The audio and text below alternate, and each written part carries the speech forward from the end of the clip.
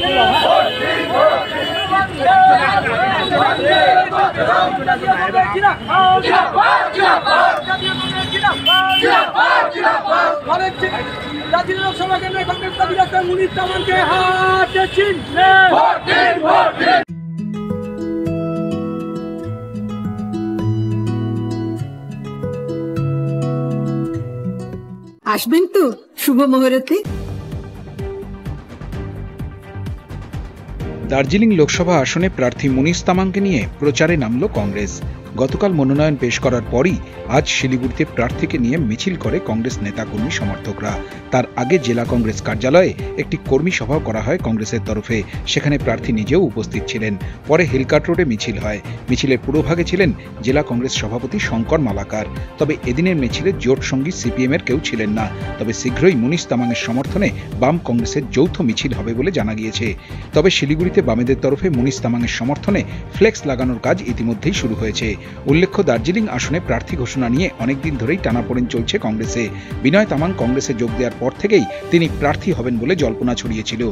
কিন্তু শেষ মুহূর্তে কংগ্রেস সদ্য দলে যোগ দেওয়া মুনিস তামাংকে প্রার্থী করায় ক্ষুব্ধ হন বিনয়। তিনি সাফ জানিয়েছেন, কোনো মতেই তিনি মুনিস তামাংকে প্রার্থী হিসেবে সমর্থন করবেন না। এমনকি তিনি কংগ্রেসের সঙ্গে সম্পর্ক ছিন্ন করতে পারেন বলেও জল্পনা ছড়িয়েছে। তবে বিনয় এখনও চূড়ান্ত কিছু জানাননি। যদিও বিনয় তামাংয়ের সঙ্গে তার কোনো প্রতিযোগিতা নেই বলে জানিয়েছেন মুনিস তামাং। শিলিগুড়ি থেকে ভাস্কর বাগচির রিপোর্ট উত্তরবঙ্গ সংবাদ।